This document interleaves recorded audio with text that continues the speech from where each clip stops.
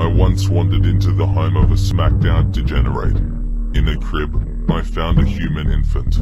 Although the governmental human infant acquisition branch would normally remove the infant and discharge it via incineration, I expedited its fate with my canines. I got blood in my fur. Smack Donalds. I'm loving it.